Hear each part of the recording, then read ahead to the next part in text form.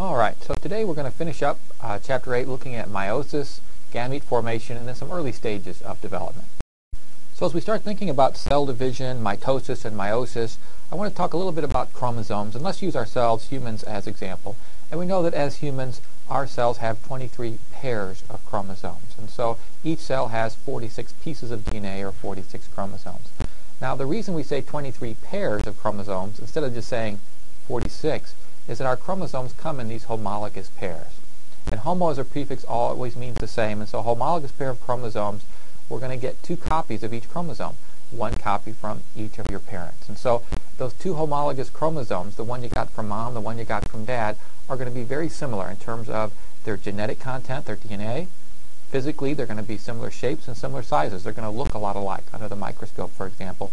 But those two homologous chromosomes of each type are not identical. Obviously, you might have inherited different genes from one parent than you did from the other. Now, of those 23 pairs of homologous chromosomes, 22 of them are going to be the same, whether you're male or female, and we call that an autosomal chromosome. And so 22 out of our 23 pairs are autosomal chromosomes. We've all two copies of each of those. It doesn't matter whether you're a man or a woman. That 23rd pair then, our last pair of chromosomes, is the sex chromosome. Okay? And we've each got a pair of sex chromosomes, but they're going to be different depending on whether you're male or female. And we can take a look at your chromosomes and physically how many do you have? Can we pair them up in those homologous pairs? Determining sex by looking at sex chromosomes. We can do that through what's called a karyotype. And a karyotype, we're just going to stain your DNA during cell division, and we're going to physically kind of cut and paste the chromosomes and try to match them all up to look at your specific set of DNA. This figure just shows us a karyotype. Usually they're going to get your DNA from blood because blood cells are easy to get. We're going to isolate those blood cells and look at the DNA. And we can see on the bottom right there, we can see what a typical, typical karyotype would look like. We're going to stain the DNA uh, and then kind of match up all those different pairs.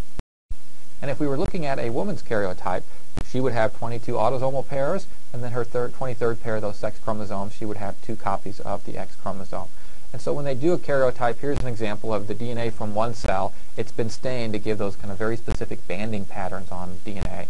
And it's kind of a whole mix of DNA. And so they're going to go in and cut and paste and match up and try to pair up all those homologous chromosomes. So here's what the karyotype looks like after we've kind of paired up or sorted out the DNA. Now notice chromosomes labeled numbers 1 through 22. Those represent those 22 autosomal chromosomes. Again, they're going to be the same for men or women and they're arranged basically by size. Number one is the largest chromosome with the most DNA, 22 and 21 are the smallest two chromosomes. And then the sex chromosomes there, we can see she has two copies of the X. That's what makes her a she. Uh, notice the X chromosomes are pretty large, about average size, so there's a lot of DNA on those X chromosomes.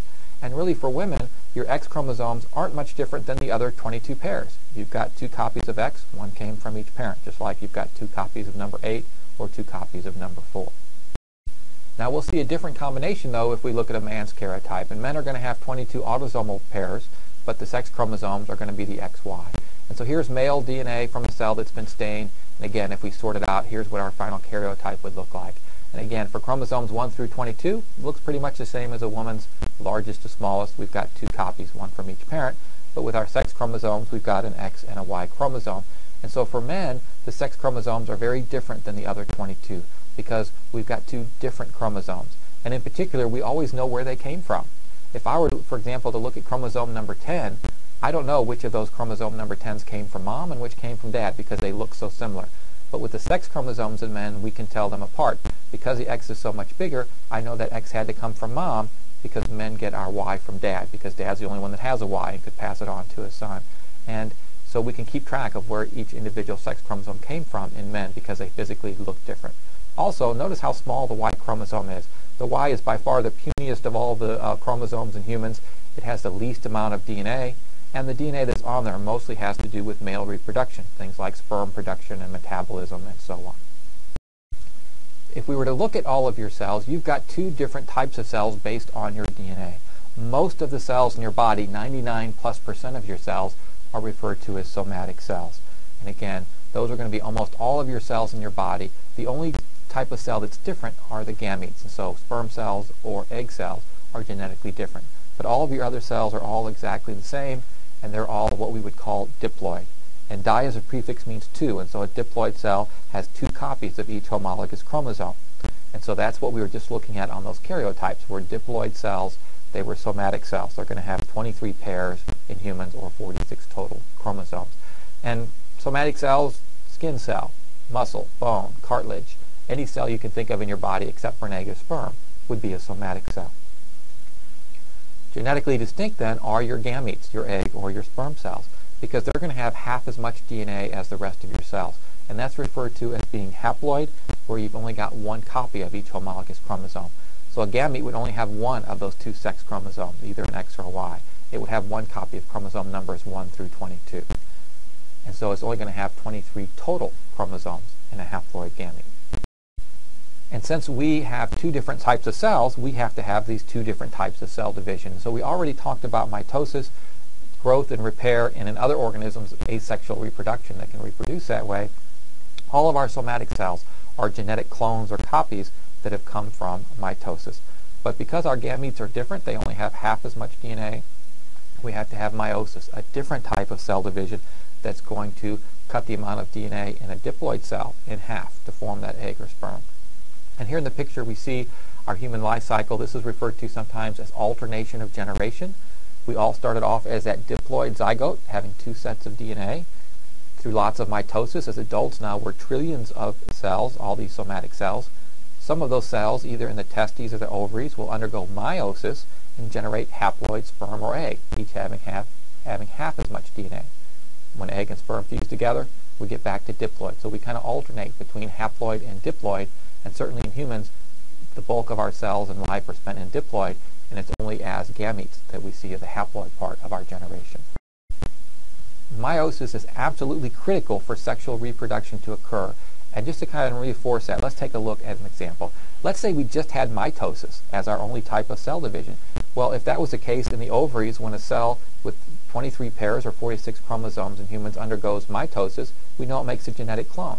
So our, the egg cell would be a clone of all the other somatic cells, and a sperm cell would be a clone of all the other cells. And if that was the case, though, when egg and sperm fuse together to make that zygote, the next generation would have 92 pieces of DNA. It would have twice as much DNA. And so if mitosis was our only form of cell division, we could not have sexual reproduction because the amount of DNA would basically be doubling every generation. And so that is absolutely not the way things occur. Too much DNA is a real problem for our cells. Instead, we have meiosis. So in the ovaries and testes, those diploid cells are going to undergo meiosis, which is going to cut the chromosome number in half. So an egg cell has half as much DNA as a typical somatic cell. So does a sperm cell. And then when those two fuse together to form the zygote, it returns us back to 46 chromosomes. And so meiosis allows for sexual reproduction to occur, but keeps the chromosome number the same, one generation after another. If we look at a quick overview of meiosis then, again, meiosis is only going to occur for sexual reproduction, so only in the ovaries or the testes. The original parent cell that starts meiosis is going to be diploid. As it goes through meiosis then, those final cells, those daughter cells, are going to be haploid, so we're cutting that chromosome number in half. Now meiosis is a little bit more complex than mitosis because it is going to be changing the DNA amount. And meiosis involves two divisions. And so one diploid parent splits into two cells, each of those two cells split a second time or a second division into four haploid daughter cells. And so we're going to see a little bit more complex pattern here. Now having said that, many things are similar between meiosis and mitosis. For example, that cell cycle, the G1S and G2 of, my, of interphase is the same, regardless of whether the cell divides by mitosis or meiosis. So that part's going to be the same. Um, also, many of the stages are the same. The prophase, metaphase, anaphase, telophase those basic ideas in mitosis are going to apply here to meiosis. And so what I'm going to do is just briefly go through meiosis, and instead of going through every stage, I just want to point out where are some differences that makes meiosis different compared to mitosis. And we signify meiosis with Roman numerals as meiosis 1 or meiosis 2, depending on what division. So meiosis 1 is the first division, one cell splitting into two. Meiosis 2 would be that second division, those two cells splitting again into four cells total. And so if this was our typical cell, here we've got our diploid cell. It has two copies of the big chromosome, two copies of the small. And let's say the green DNA represents information inherited from mom's side of the family, blue from dad's side of the family. Well, the cell's going to go through the cell cycle and get ready to divide. When it gets to prophase, we're going to see the cell building its spindle, breaking down its DNA, uh, nucleus, excuse me, and packaging up the DNA, all the things we saw in mitosis. But we're going to see one new thing here in meiosis 1, and that's the formation of what are called tetrads. Now, normally, your chromosomes in your cell are just kind of randomly spread out in your nucleus. But right before meiosis, during this prophase 1, your homologous chromosomes are going to be brought together and physically attached to each other. So chromosome number 17 that you inherited from mom and number 17 from dad are going to physically be brought together and chemically bound together. And so for all 23 homologs, they're going to be bound together in these tetrads. And so this is a way for your cell to keep track of those homologous pairs, which is going to be important because we're going to cut that number in half here in just a second. So that's a real critical difference here with meiosis. Once those tetrads are formed, the spindle is going to pull and push on the DNA. Eventually, it's going to line all those tetrads up down the middle. Oh, that's called metaphase again. Uh, again, notice now we don't have just individual chromosomes lined up, but we have the tetrads lined up. Now, during anaphase, that spindle is going to contract and pull apart our, te our uh, tetrads. Half of the DNA gets pulled up, half gets pulled down. And so this anaphase 1 is a critical stage where we're cutting the amount of DNA in half. We're going from two sets of DNA to one set. Remember, telophase is kind of our wrap-up stage, and so the cell's going to undergo cytokinesis. It's going to make a new nucleus, unpack the DNA, get rid of the spindle. Again, kind of returning back to normal. So that by the end of meiosis 1, we've cut our DNA amount in half. We've gone in humans from 46 to 23 chromosomes. In meiosis 2, then our second division, these two cells are going to divide a second time. And notice as we start out that each of our chromosomes is made up of two of those identical sister chromatids. And this is the state of the DNA at the, form, at the beginning of mitosis. And in fact, meiosis 2 is very similar to mitosis because what's going to happen is in prophase, we're going to package up the DNA. In metaphase, we're going to line up the chromosomes down the center of the cell. In anaphase 2, the spindle is going to contract and it's going to pull apart those sister chromatids. In telophase, we're going to, the cells are going to get back to normal. We're going to undergo that cytokinesis, that division of the cytoplasm build a new nucleus, and the cells are going to unwind. So that by the time we're finished, we've got four cells. They're not clones or identical to each other. They're all going to be haploid or have half as much DNA as that original parent cell. And so again, the critical stage is meiosis 1 and the formation of those tetrads that's going to result in our haploid cells. So if we put meiosis 1 and 2 together, let's just look at what happens into a, in a male cell, for example. And so here we're going to look at an autosomal chromosome, in this case this A chromosome. If we were humans, again, there'd be 22 of those pairs, and then the uh, X and Y chromosomes. In meiosis 1, we're going to cut the amount of DNA in half, so we're going to go from that two sets of DNA diploid to one set of DNA. Then in meiosis 2, we're going to split apart those sister chromatids, and so we're going to go from one parent to four haploid gametes. And so that's our process of meiosis. It doesn't matter whether I'm looking at a plant cell or a human cell or some other type of animal. This process is the same for all eukaryotic cells and is absolutely required for organisms that reproduce sexually with eggs and sperm. Once we have those gametes, then if fertilization is to occur, uh, the egg is released. When the egg is released, it's surrounded by many support cells, as we can see here. Uh, fertilization is that moment when egg and sperm fuse together. So the, egg, uh, the sperm actually has a little acrosome tip, which is a, at the very front of the sperm. It's an enzyme-filled little cap. When it bounces into the egg, it releases the enzyme, which allows the sperm to wiggle in. As soon as that sperm enters the egg, uh, the egg releases what's called a fertilization barrier, which is a chemical barrier that prevents other sperm from getting in. Because certainly one of the problems is what happens if too many sperm get into the egg, we've got way too much DNA. And so it's a very immediate kind of response. As soon as that sperm enters, the fertilization pops up, barrier pops up, it prevents other sperm from getting in. And so now we've got two sets of DNA inside of our uh, egg, one from sperm, one from egg, and that's our diploid zygote. So we're returning back to two sets of DNA.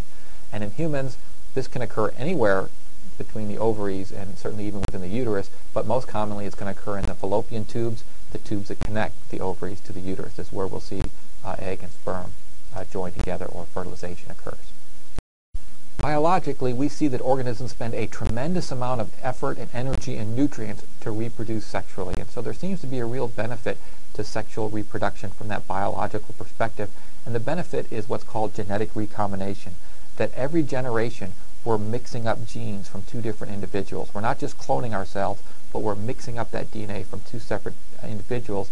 And again, that combination or recombination seems to be a huge benefit to species that reproduce sexually.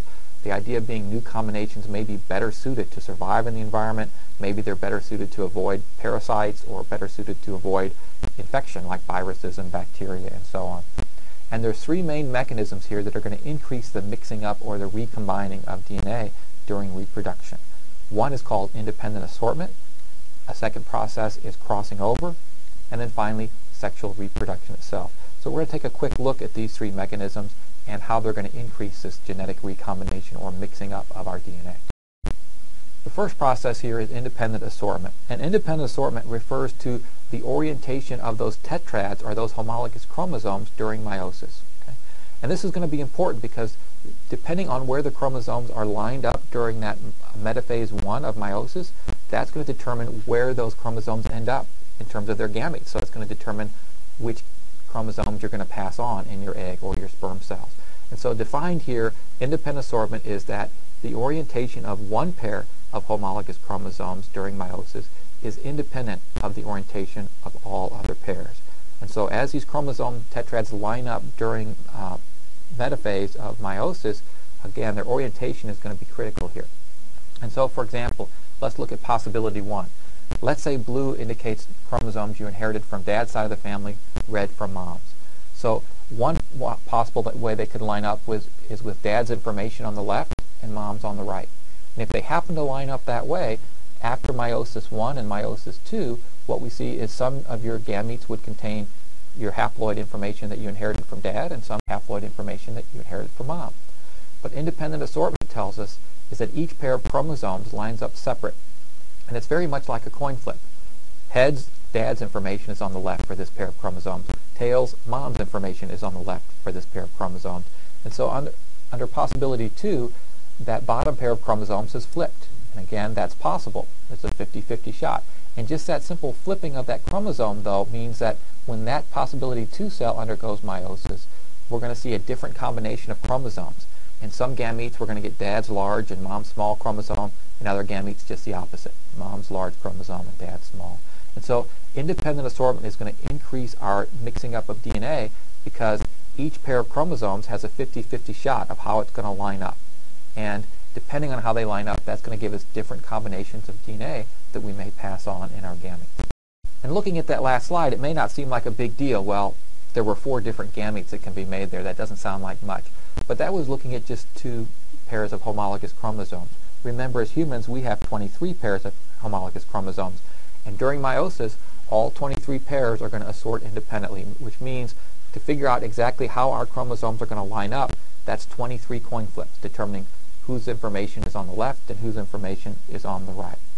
And mathematically, if, if we do that equation, we come out with over 8 million different possible genetic gametes that we each have the potential to make just based on this flip-flopping. This really sounds like trivial uh, orientation of these chromosomes. But 2 to the 23rd is a, is a math problem there. Again, over 8 million different combinations. Now, we may not make these combinations, but we have the potential to generate all those different combinations of genes in sperm or egg cells simply based on independent assortment and meiosis. A second mechanism that increases genetic variation is called crossing over. And this is actually a mistake that happens in the DNA repair mechanisms, but it's a mistake that's going to actually be beneficial at times by increasing this genetic recombination. And so because DNA is very long and thin, it's not unusual for pieces of DNA to break, for chromosome pieces to break off, especially when the DNA is getting pulled and pushed around during cell division. But we have a whole series of enzymes and a whole metabolic pathway that allows our cells to find the broken piece and return it to the right place to fix it and to reattach it. This crossing over, though, is a breakdown in this repair mechanism.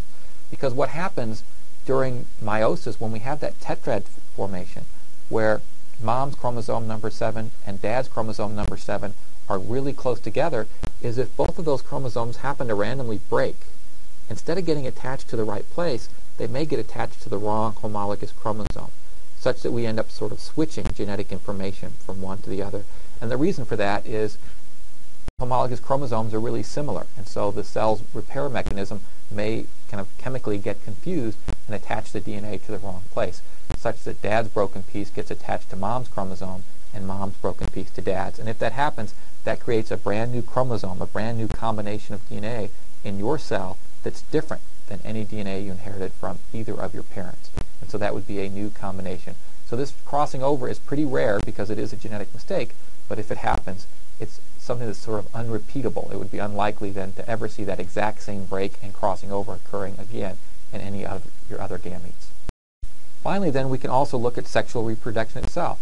That when we reproduce, we're taking DNA from two completely different individuals and mixing that together. And so, for example, if we were to look at your DNA and your parents and say, even if you had the exact same parents as you do, the exact same mother and father, what are the odds of getting the same genes that you have a second time and a second brother or sister being genetically identical to you? And basically the odds are mathematically zero. It's not going to happen because of all of this mixing up, right?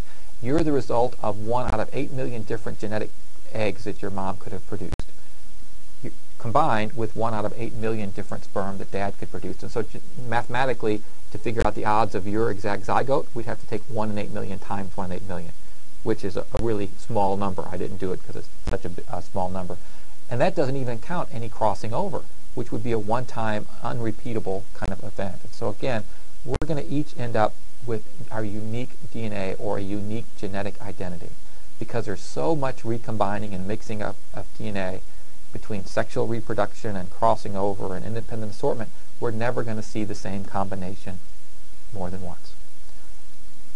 Of course, there is an exception to that. There's always an exception to every rule, and our exception here would be identical twins. So let's take a minute to look at twins and see how that applies to this idea of genetic recombination and unique genetic identity. There are two types of twins. We're all familiar with fraternal versus identical twins. The scientific names of those, though, are dizygotic and monozygotic twins. And so a dizygotic twin, di is for two, so we've got twins from two zygotes. This is a scientific name for fraternal twins, and fraternal twins are the result of two eggs being fertilized by two separate sperm. And so we're going to have two zygotes, hence the name dizygotic.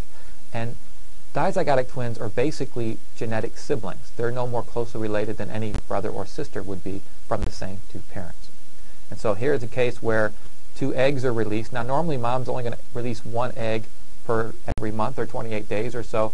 But if two eggs happen to be released from the ovary at the same time, then if there are sperm nearby, both of those eggs might be fertilized, and then we would have our dizygotic twins. And in fact, sometimes even dizygotic twins can be due to separate sperm from different males because of those two eggs being fertile at the same time. Dizygotic twins are the type of twins that may run in families because, especially on the mom side of the family, sometimes there's a tendency to release more than one egg at a time, and if that's the case, and that can be an inherited trait, then you may be more likely to have dizygotic twins. The only exception to our unique genetic identity rule, then, are monozygotic twins. And monozygotic twins is a scientific name for identical twins. And identical twins do have the exact same DNA because they came from a single egg that was fertilized by a single sperm. And so what happens in monozygotic twins is a sperm fertilizes an egg, that egg starts to develop by mitosis and divide into two cells, into four, into eight, and eventually as it's moving down the fallopian tubes to the uterus to implant, for some reason that clump of cells that makes up that developing embryo might split apart into more than one clump, and that would result in monozygotic twins, and so our split occurs after fertilization. So we've got an egg that gets fertilized by a sperm, and then that splits during development. And since our recombining of DNA of independent assortment and sexual reproduction crossing over occurred before the formation of that zygote, any split after that is going to result in lots of division by mitosis, which of course makes genetic clones, and that's why monozygotic twins are going to be genetically identical to each other. When we start looking at production of gametes and sexual reproduction and all the stages of development and so forth, certainly it's amazing how complex it is but even more amazing is how often things work out right, that all these natural processes occur and reproduction occurs as it should. However, sometimes there are mistakes that occur during these processes, and one of the most common mistakes during cell division is a process called non-disjunction. So I want to talk a little bit about this mistake, what it causes, and then so what are some of the effects that we might see in different cells. And non-disjunction can occur in mitosis or meiosis, but in meiosis it's going to be much more magnified because that's a genetic mistake that you may pass on to your offspring. Versus mitosis, it's just going to affect one cell perhaps in your entire body. So non-disjunction in meiosis is when chromosomes don't separate. So normally during meiosis, the chromosomes get pulled apart during anaphase. But sometimes chromosomes are sticky and they stick together and they don't pull apart like they're supposed to. And if that happens, that's called non-disjunction. And it can occur in either uh, meiosis 1 or 2. Here we see a picture in meiosis 1. Two chromosomes stick together, and if they do, after meiosis, some of the gametes have an extra chromosome. They have two copies of that large chromosome instead of the normal one. Other gametes are going to be missing a chromosome, so they don't have any copies of that particular uh, chromosome. And so in humans, instead of having 23, if we have non-disjunction, some of your, your gametes might have 4, others might only have 22. Now this could occur in meiosis too as well, and the result is pretty much the same. We'll get some gametes with an extra chromosome and some missing, although if it occurs in meiosis too, it affects fewer gametes.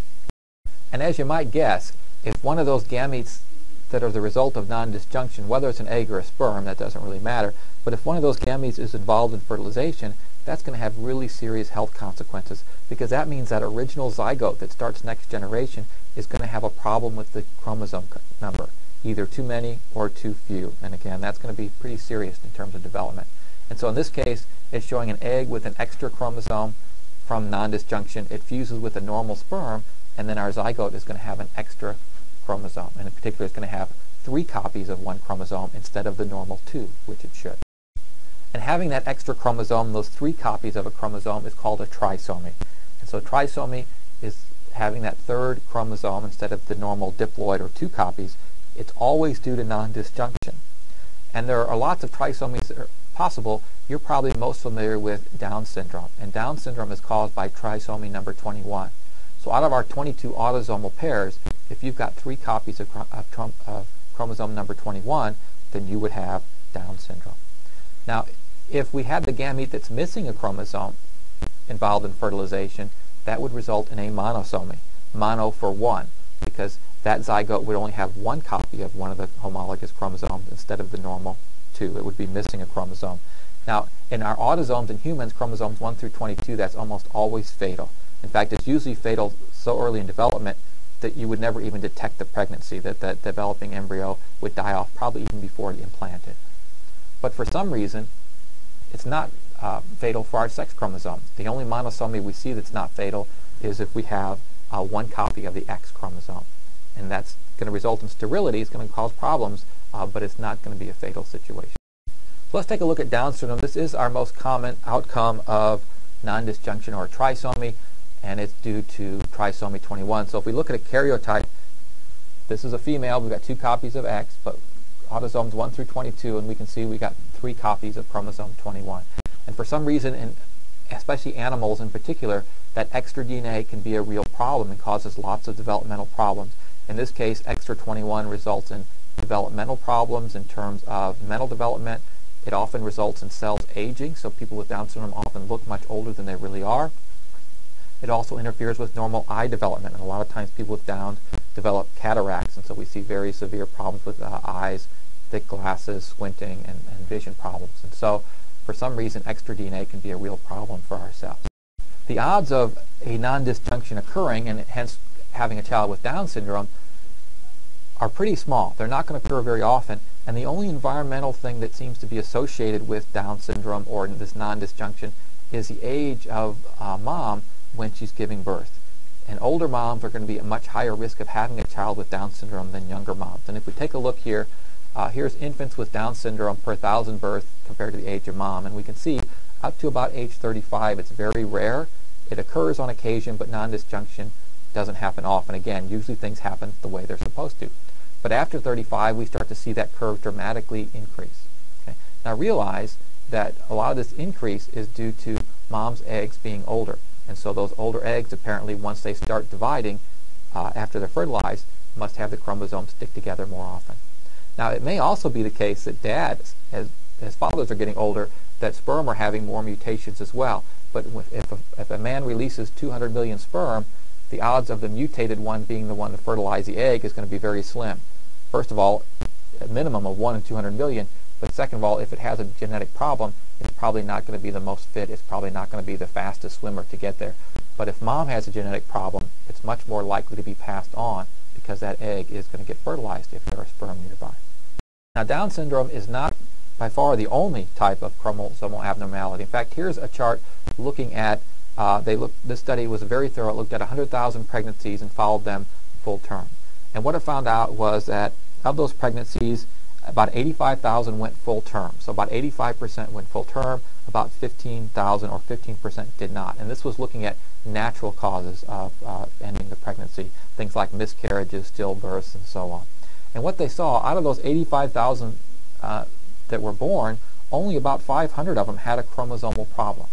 But out of the 15,000 that didn't go full term, so they died because of some developmental complication, fully half of those had a chromosomal problem. And so by far, problems with chromosome number is the leading cause of pregnancies not going full term in terms of miscarriages and stillbirths and uh, other types of complications that occur with pregnancy. Now, the first group up here look at trisomies 1 through 22. And I want to point out that Down syndrome or trisomy 21 is not the most common non-disjunction or the most common genetic mistake. But the reason we see it more common than others is because it's the least fatal. Notice that by far our most common mistake is chromosome 16. Chromosome 16 stuck together and formed trisomies over 1,200 times. But notice that no one with trisomy 16 was born alive. So trisomy 16 is a common mistake. Those, two, those 16s must be extra sticky. They tend to stick together more often than other chromosomes. But if you have an extra 16, it's going to be fatal. So we don't have a name for any dis disorder for trisomy 16 because no one's born alive with it. By comparison, trisomy 21 happened about 460 times, so much less common, but notice that that's the largest group of survivors. So that's why we have Down syndrome as the name of a disorder because it's the least fatal. But even Down syndrome, trisomy 21, three out of four embryos that had it extra 21 did not go full term. And so again, by far our leading cause of these pregnancies not going, going full term. Now we could have a monosomy, that example of having uh, just one chromosome, and that's the example of an XO. An XO means you've got an X and nothing else. And that's the only human monosomy that's not fatal.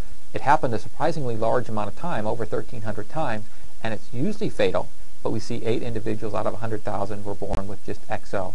And that's usually going to result in female development because there's no Y chromosome, so we'll see uh, female uh, sex characteristics, but usually it's going to result in sterility and the sex organs don't fully develop. The other chromosomal issue I want to point out on this chart are called polyploid events. And a polyploid event is when you have a whole extra set of chromosomes. So it's not having one extra chromosome, but it's having a whole 23, uh, one copy of every chromosome extra. In humans, that's always fatal. We can see at the bottom here, triploid is having three sets of DNA instead of two. Tetraploid would be four. Now notice that triploid happened over 1,200 times, which is kind of a surprisingly large number. Now, this is not due to non-disjunction. There's no way that all 23 chromosomes would happen to stick together in the same cell to get an extra set of DNA. But a triploid event is due to two sperm entering the egg at about the same time. And if two sperm enter the egg simultaneously, that fertilization barrier when it pops up is too late. So now I've got three sets of DNA in that egg, and that's going to be triploid. On more rare occasion, maybe three sperm enter at exactly the same time. That would end up in a tetraploid. And again, in animals, notice that those extra copies of DNA are always fatal. Interestingly enough, though, in plants, having extra DNA actually allows plants to grow bigger and faster and more vigorous. For example, many common uh, crops like wheat and soybean are tetraploids. In DNA and extra DNA in those plants seems to be a benefit for them.